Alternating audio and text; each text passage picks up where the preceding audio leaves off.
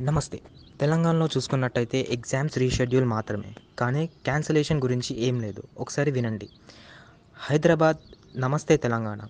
ఈ నెల ఇరవైన ప్రారంభం కానున్న బీటెక్ పరీక్షలు వాయిదా వేసినట్టు JNTU H register Manju Hussain తెలిపారు.